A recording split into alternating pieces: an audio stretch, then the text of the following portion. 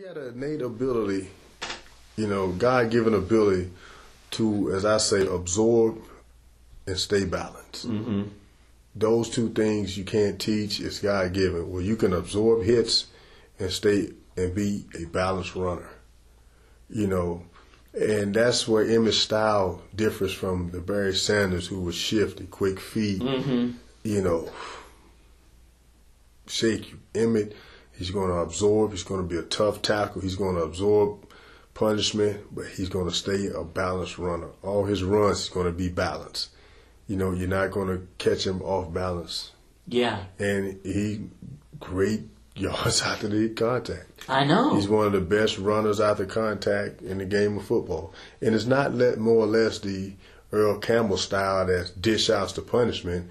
It's the style that you go back like, damn, he was hard to bring down. It wasn't was like so he ran. fluid. It's like he, he didn't run me over, but damn, he was just a hard tackle. Yeah. And I hear a lot of guys that played against him in the NFC East say that a lot. Like, man, he didn't do nothing, you know, intimidate like Earl Campbell or mm-hmm. Walter Payton when you see them coming. You, Right. He just was a hard ass tackle. I know. Do you think some of it too? He he was built like a fire plug. I mean, he was compact with muscle, and and and a lot of guys have legs. Or there's something. There's maybe some Well, weakness, but he was man. He was like a rock. That and let's let's let's not leave. He was a com- he is a competitive person, Mm-hmm. and a lot to do with that was just the will to compete.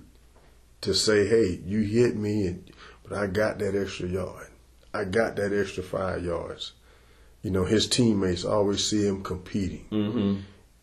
That to me, going to that's one of the defining moments of Emmitt Smith. Is he's one of the, as I said earlier, I saw it when I watched him play in high school, man. And I was in eighth grade, he was in twelfth, and that was the impression I left with. Man, this guy competes, and I say that till today. This guy, he competes.